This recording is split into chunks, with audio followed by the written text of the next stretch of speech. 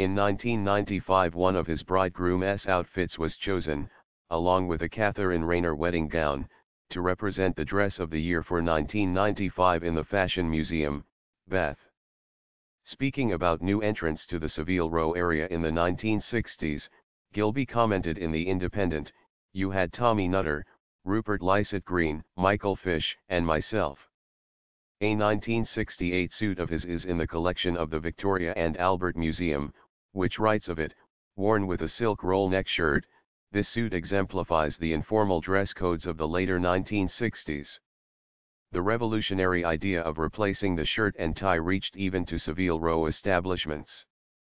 Gilbey uses a traditional tweed for a futuristic design, incorporating zipped front and pocket fastenings.